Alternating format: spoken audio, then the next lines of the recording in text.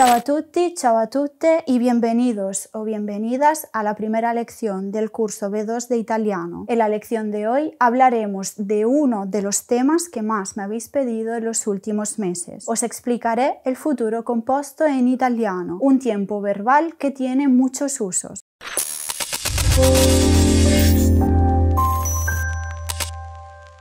El futuro anteriore o futuro composto es un tiempo verbal compuesto del modo indicativo y es muy útil porque se utiliza en muchos contextos. Empezamos por el uso más interesante y el que seguramente te habrá traído hasta este vídeo. Y es que el futuro composto se usa para expresar una acción que ocurrirá en el futuro antes que otra acción que también ocurrirá en el futuro. Pongamos como ejemplo esta frase. Prima dormirò, poi ricomincerò a studiare traducida literalmente sería, primero dormiré y luego empezaré a estudiar otra vez. Como ves tenemos dos acciones futuras expresadas por un futuro semplice. Si tuviéramos una línea temporal proyectada hacia el futuro, primero dormiré y luego empezaré a estudiar otra vez. Como tenemos dos acciones futuras y una viene antes que la otra, podemos expresar la misma idea usando el futuro anterior. En este caso, como el dormir viene antes que el empezar a estudiar, diremos cuando habrá dormido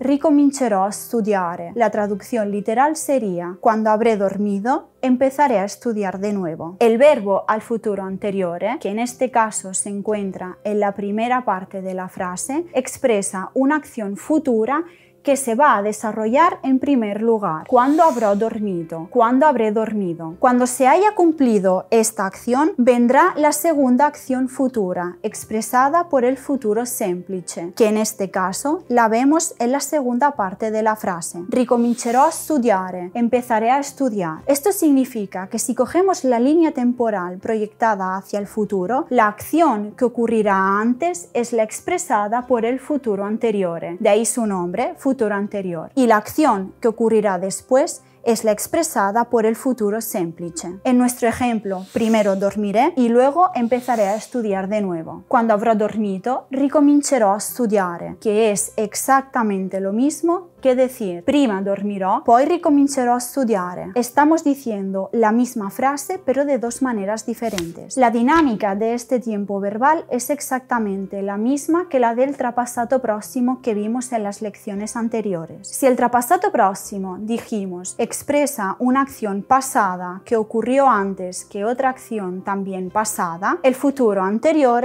expresa una acción futura que ocurrirá antes que otra acción también futura. La dinámica es la misma con la diferencia que estamos proyectando la acción en un futuro que todavía no ha ocurrido. Vamos a poner otro ejemplo. Nos encontramos con la siguiente frase. Deciderò che sport fare e poi andrò a iscrivermi in palestra. Decidiré qué deporte hacer y después iré a apuntarme al gimnasio. Tenemos dos acciones futuras y una viene antes que la otra. Por este motivo podemos transformar la acción que sucederá antes en un futuro anterior y la frase nos quedaría así. Non appena avrò deciso che sport fare, andrò a iscrivermi in palestra. En cuanto habré decidido qué deporte hacer, iré a apuntarme al gimnasio. Por lo tanto, como la acción de decidir es anterior a la acción de ir a apuntarse al gimnasio, usaremos el futuro anterior en la acción anterior y el futuro semplice en la acción posterior. Primero decido qué deporte hacer y luego me apunto al gimnasio. Por cierto, cuando te encuentres con este uso del futuro compuesto que sirve para expresar una acción futura antes que otra, un truco que te puede resultar útil es que hay una serie de expresiones que suelen acompañar a este tiempo verbal. Dos de ellas ya las hemos visto en las frases de ejemplo y son cuando, como en español, cuando y non appena, que significa en cuanto. Un sinónimo de non appena es appena, que también se traduce como en cuanto. Otra expresión común es dopo che, después que. Dopo che avrò comprato qualcosa da mangiare, tornerò a casa. La traducción literal en español sería después que habré comprado algo de comer, volveré a casa. Ya sé que en español no lo diríamos así, pero bueno, es simplemente la traducción literal para que entiendas bien la dinámica en italiano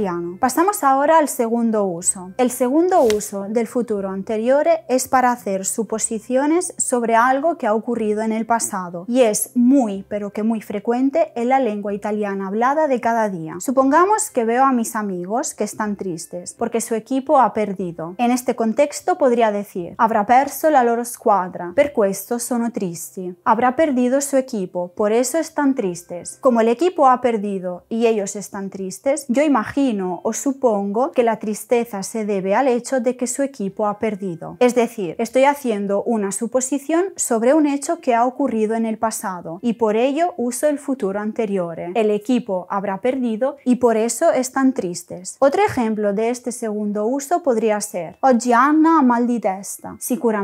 Habrá dormido poco ieri sera. Hoy Ana tiene dolor de cabeza. Seguramente habrá dormido poco ayer por la noche. Estoy haciendo una suposición sobre un hecho que ha ocurrido en el pasado. Imagino que hoy a Ana le duele la cabeza porque anoche durmió poco. Así que el segundo uso del futuro anterior es para hacer suposiciones sobre algo que ha ocurrido en el pasado. Otro uso muy frecuente del futuro compuesto es para expresar una duda o incertidumbre. Hemos quedado todos los amigos y uno de ellos, Marco, llega tarde. En esta situación podríamos decir Marco è in ritardo, ¿Habrá perso el autobús? Marco llega tarde. ¿Habrá perdido el autobús? Usamos el futuro anterior para expresar una duda. Como Marco llega tarde, mi duda es si habrá perdido el autobús. Otro ejemplo podría ser, quizás i bambini avranno mangiato. ¿Quién sabe si los niños habrán comido? Tengo la duda de que los niños hayan comido o no. Por eso, para expresar esta duda, uso el futuro anterior.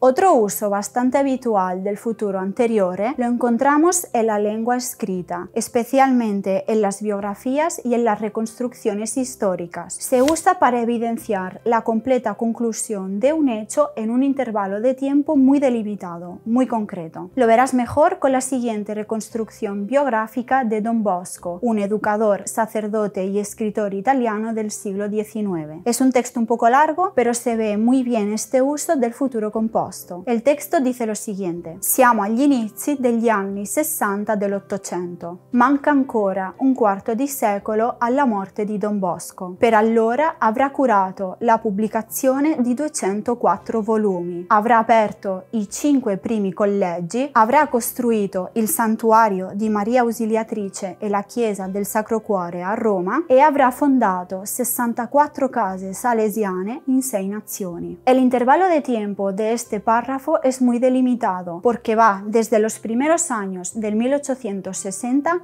hasta la muerte de Don Bosco en 1888. En este periodo de tiempo, Don Bosco habrá editado 204 libros, habrá abierto los primeros cinco internados, habrá construido el santuario de María Ausiliatrice y la iglesia del Sacro Cuore de Roma y habrá fundado 64 casas salesianas en seis países. Por lo tanto, usamos el futuro anterior en biografías y en reconstrucciones históricas para marcar la completa conclusión de algo en un periodo de tiempo muy delimitado. Así que a partir de ahora, si lees este tipo de textos, presta mucha atención porque seguramente te encontrarás con este tiempo verbal. Por último, tenemos el quinto uso del futuro anterior, también bastante usado en la lengua escrita. Se limita a los textos jurídicos, a los textos religiosos y a las instrucciones de uso. Es un uso que se suele estudiar poco, pero está bien que lo sepas porque te lo podrías encontrar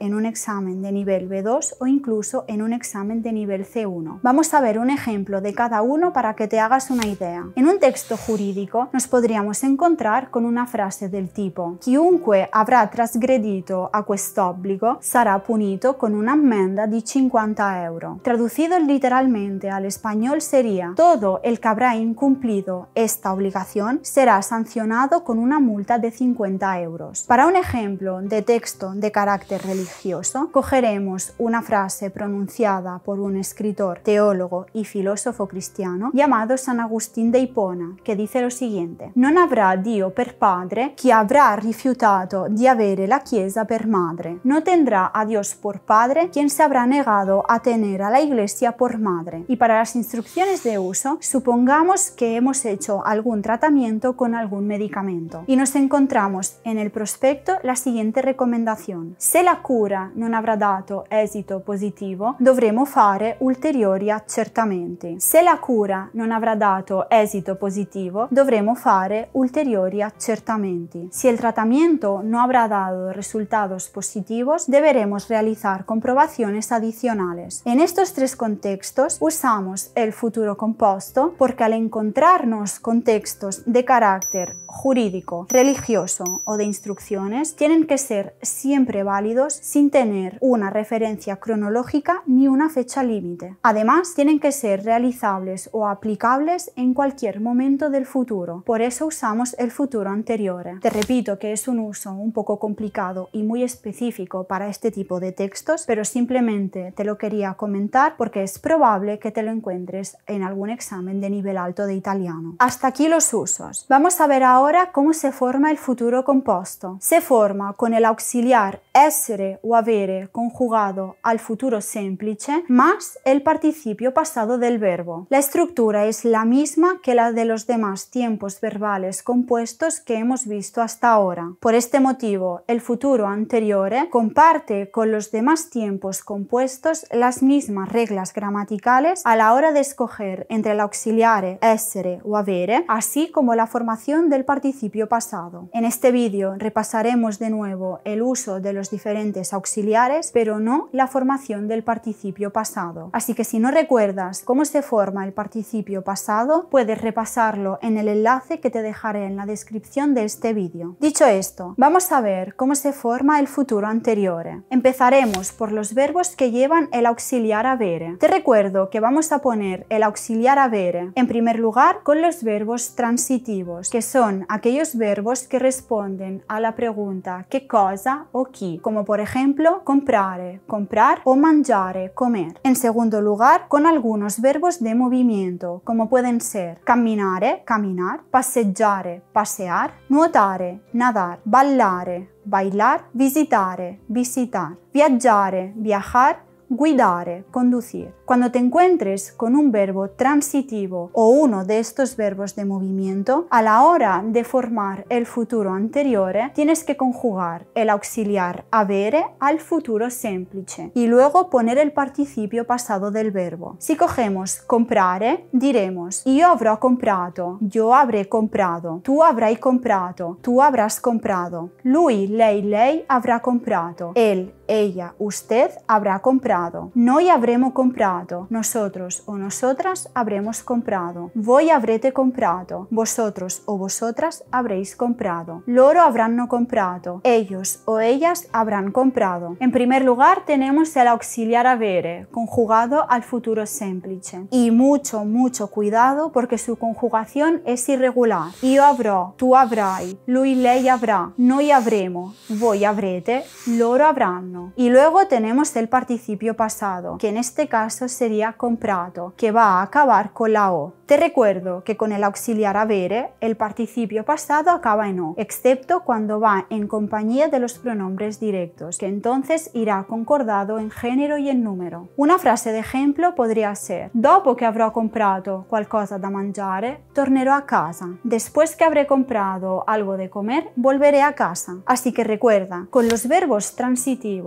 y con algunos verbos de movimiento, el futuro anteriore tiene la siguiente estructura. Auxiliar avere conjugado al futuro semplice más el participio pasado. Como ves es muy fácil. Vamos a ver ahora cómo se forma el futuro anteriore con los verbos que llevan el auxiliar essere. Y aquí la cuestión se complica un poco. Vamos a poner el auxiliar essere con los verbos intransitivos, que son aquellos que no aceptan un complemento directo y que por lo tanto no responden a las preguntas chi o qué cosa. ¿Y cuáles son estos verbos? En primer lugar, los verbos de movimiento, como andare, ir, venire, venir, partire, irse, marcharse o uscire, salir. En segundo lugar, los verbos que indican stato y luogo, que te recuerdo que son aquellos que indican la permanencia en un lugar y son essere, ser o estar, stare, estar, restare y rimanere, quedarse. En tercer lugar, los verbos que indican un cambio o una evolución en el sujeto, como por ejemplo nascere, crescere, morire, dimagrire, ingrassare, diventare. En cuarto lugar, una serie de verbos que casi siempre se usan a la tercera persona del singular y del plural y que suelen ir acompañados por un pronombre indirecto. Estos verbos pueden ser piacere, sembrare, accadere, succedere, capitare, bastare, mancare, servire,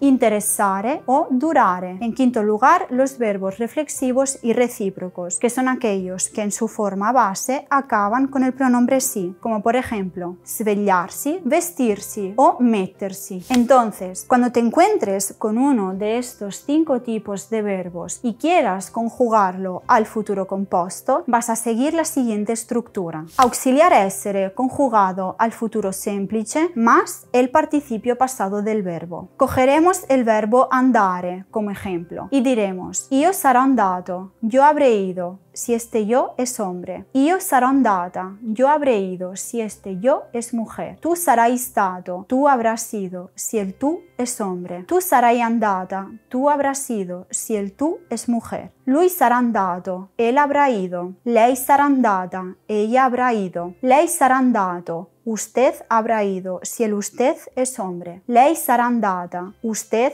habrá ido, si el usted es mujer. Noi saremo andati, nosotros habremos ido. Noi saremo andate, nosotras habremos ido. Voi sarete andati, vosotros habréis ido. Voi sarete andate, vosotras habréis ido. Loro saranno andati, ellos habrán ido. Loro saranno andate, ellas habrán ido. Como ves, primero vamos a poner el auxiliar essere conjugado al futuro semplice. Io sarò, tu sarai, lui lei sarà, noi saremo, voi sarete, loro saranno. Después vamos a poner el participio pasado del verbo y mucha atención. Con el auxiliar essere, el participio pasado tiene que concordar en género y en número con el sujeto. Esto significa que las tres personas del singular acabarán en o si son masculinas o en a si son femeninas. Para el ley, usted, debemos tener en cuenta si se trata de un usted masculino, ya que en este caso el participio pasado acabará con la o, o si es un usted femenino, ya que en este caso el participio pasado acabará con la a. En cambio, las tres personas del plural acabarán en i si son masculinas o sujetos mixtos, chicos y chicas, o en e si son sujetos femeninos. Una frase de ejemplo podría ser: Cuando Chiara sarà arrivata in albergo, ci telefonerà. Cuando Clara habrá llegado al hotel, nos llamará. Esta misma estructura la vamos a aplicar con otros verbos que llevan el auxiliar essere. Y recuerda que para los verbos pronominales, el pronombre irá antes del auxiliar essere. Cogeremos svegliarsi, despertarse. Io mi sarò svegliato, io mi sarò svegliata. Tu ti sarai svegliato, tu ti sarai svegliata. Lui si sarà svegliato, lei si sarà svegliata. Lei si sarà svegliato, lei si sarà svegliata. Noi ci saremo svegliati, noi ci saremo svegliate. Voi vi sarete svegliati, voi vi sarete svegliate. Loro si saranno svegliati, loro si saranno svegliate. Por último, tenemos una serie de verbos que pueden llevar los dos auxiliares. Es decir, dependiendo de cómo se utilicen estos verbos en la frase, a veces llevarán el auxiliar avere y otras veces el auxiliar essere. En primer lugar, tenemos los verbos modales volere, querer, potere, poder y dovere, deber. Y en segundo lugar tenemos los verbos cominciare, empezar, finire, acabar, cambiare, cambiar, aumentare, aumentar, salire, subir y scendere, bajar. Cuando estos verbos sean transitivos, van a llevar el auxiliar avere. Por ejemplo, dopo che avrò finito gli esercizi di inglese, uscirò con gli amici. Después que habré acabado los ejercicios de inglés, saldré con los amigos. Esercizi di inglese es un complemento directo, por lo tanto, como finire está siendo en este caso un verbo transitivo, vamos a poner el auxiliar avere, siempre conjugado al futuro semplice. Cuando estos verbos sean intransitivos van a llevar el auxiliar essere. Por ejemplo, cuando el film sarà finito, mangeremo una pizza. Cuando la película habrá acabado, comeremos una pizza. Como en este caso finire se está comportando como un verbo intransitivo, vamos a conjugarlo con el auxiliar essere. Esto es todo por esta lección. Espero que te haya resultado útil. Sé que parece un poco complicado, pero no es nada del otro mundo y te aseguro que si estudias te saldrá a la Nos vemos en la próxima lección. Arrivederci.